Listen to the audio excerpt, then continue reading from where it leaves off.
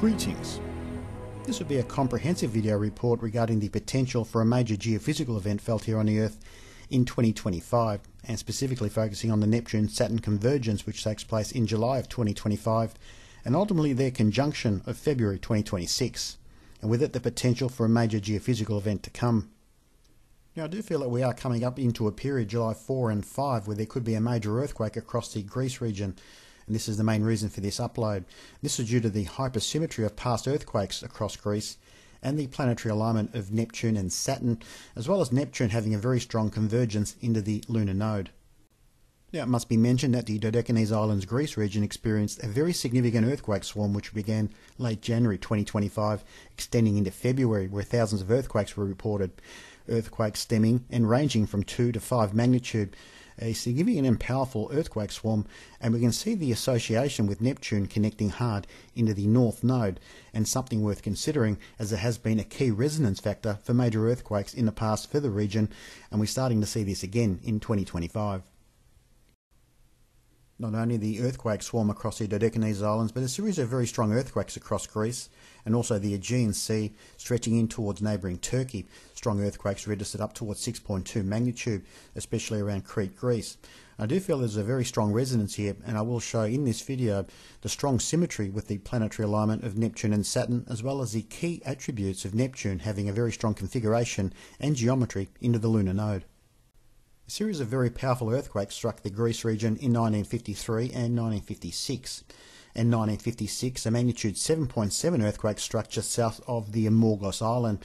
This earthquake was extremely powerful, followed up just 13 minutes later with another earthquake, magnitude 7.2. Now, these earthquakes had a 30 metre tsunami associated and absolutely decimated the region. It must be noted that in 1953, another very strong earthquake struck the Greece region, the Ionian Islands in Greece.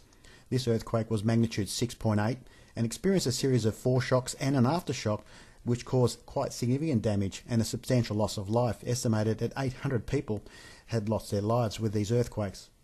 Now going to be using astrocartography and focusing on the planetary conjunctions and mapping them to the Earth. There was a triple conjunction of Neptune and Saturn in 1952 and 1953 which preceded this major earthquake, 6.8 magnitude. As we can see, the third conjunction, its position of both Neptune and Saturn very close to the epicenter of the earthquake to come. It's important to note that the July 22nd, 1953 conjunction of Neptune and Saturn, the earthquake occurred the following month on August 12. Now looking ahead to 1956 and the preceding events that took place prior to the Amorgos Island earthquake, magnitude 7.7. Now we just follow the motion and movement of Neptune in 1954 and 1955 and marking the station of both times the Neptune station took place. And note the proximity of the future earthquake to come, marking pretty much very near the earthquake epicenter. Now, the most interesting aspect of them all, Neptune had very strong aspects into the lunar node at the time of both stations, but the important aspect of them all, the earthquake event itself in 1956 took place when Neptune stationed. We're now looking at a chart of both stations of Neptune in 1954 and 55. In 1954, Neptune was stationing while having a very strong square aspect into both lunar nodes. And in 1955, in the month of July, Neptune was also stationing having a very strong connection, this time a perfect connection, trining into the south node. Now going to expand a little bit further. We had a very strong earthquake swarm striking the Santorini volcano region in 2011. Importantly, looking at a chart on this day, we have Uranus having a very strong square aspect into both nodes, but importantly, Neptune is having a very strong configuration, again, into the south node, a trine aspect. I've no doubt that the Neptune Saturn conjunction is the main facilitator for these earthquake events across the region, not only with the 1950s earthquakes of 1953 and 56, but also preceding. Another strong earthquake series struck the region with the same symmetry, again with a triple conjunction. So I do feel that the upcoming planetary station of Neptune may be significant, and we may see a much larger earthquake potentially reaching close to 7 magnitude. We're now going to go back 36 years and follow the Neptune Saturn connection and conjunction, and there were two strong earthquakes across Peru, 6.9 and 6.5 magnitude in 1990 and 1991, related to this conjunction. Now going to be using astrocartography and focusing on the planets, specifically Neptune and Saturn, and their previous conjunction back in 1989 or 36 years ago. Now I'm going to animate the software. I'm going to be watching both planets moving across and I've localized the Peru region as we had a series of earthquakes striking the region in the years following. There's our first conjunction between Neptune and Saturn. Neptune will station very near this house location marking the future earthquake epicenter. Saturn stations not far away and then turns back retrograde. So we've got both planets now moving retrograde, making connection with Mars. Venus comes through and then the Sun. So we get multiple planetary alignments while they're in retrograde. Both planets are now retrograding back across Ecuador and Peru. Saturn's offshore. Neptune's about the station. Both planets about the station back, move direct motion. Now Jupiter comes in and makes a connection with both planets. If that wasn't enough, Jupiter is stationing, slowing down its motion and movement, turning retrograde back into this conjunction of Neptune and Saturn, and joined by Venus, which is moving through. So a near four-way planetary connection late 1989 marks a very powerful series of planetary connections and a series of earthquakes followed in the Peru region in 1990 and also 1991. There were three conjunctions of Neptune and Saturn in 1989, the first occurring in March, and note the very powerful chart aspect showing on the left hand side and the house location of the future earthquake event to come, not too far away. 11 months later, we have a very strong earthquake, 6.5, and the following year, 11 months later, a magnitude 7.1 earthquake struck the Peru region. We're now going to look back at the previous cycle in conjunction of Neptune and Saturn. It took place in 1953, where a very strong earthquake struck the Ionian Islands, Greece, magnitude 6.8, devastated the region.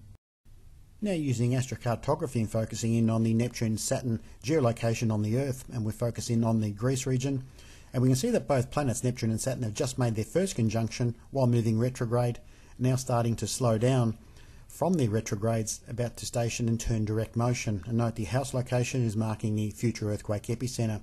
So both stations are almost simultaneous and we can see that the earthquake event is almost equidistant in between both Neptune and Saturn.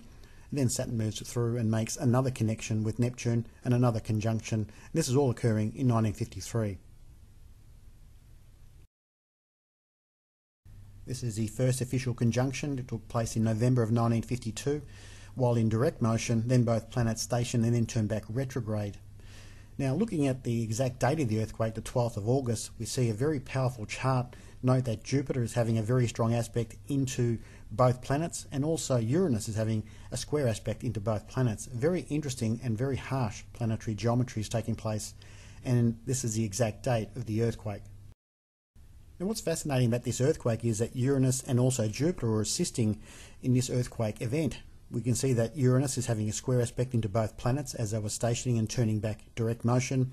And Jupiter was opposing Neptune, made a perfect opposition right over the house location marking the future earthquake epicenter. And just five months later, a very strong earthquake struck the region of Greece.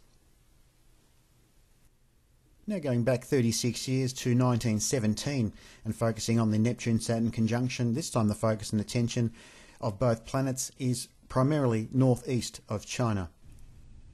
Now going right back to 1917, we're now in the month of July, July 28 to be exact. And if we have a look, we have the near conjunction between Neptune and Saturn, also joined by the Sun. So the Sun is making a connection with both planets just on the days preceding this conjunction.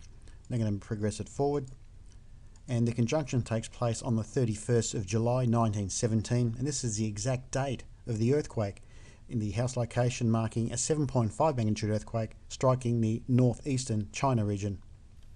Now it must be mentioned that the Neptune-Saturn connection and convergence will get within 13 minutes of separation just prior to both planets moving station and retrograde. So this will be the key time frame to watch. Now it's not a perfect conjunction, that will take place February 2026. But importantly, there is a squeezing of both planets, and also the retrograde of both planets will be highly significant. So the entire month of July could be quite powerful in terms of earthquakes across the globe, and I'm concerned that the Greece region could experience a large event. Now, the main time frame definitely will be July 4 and 5 due to the Neptune station, but also we need to closely monitor the time frame around mid-month, around when Saturn stations as well. So something to watch, and I'm concerned of a strong event, and that's the reason for this upload. Now we'll be making another upload regarding the Neptune-Saturn position geodetically in 2025 and 2026 as I do feel a major earthquake will result. So not only do we have a connection and reset point for a major event in July, but also see another earthquake event of significance related to Neptune Saturn, and that'll be another video upload.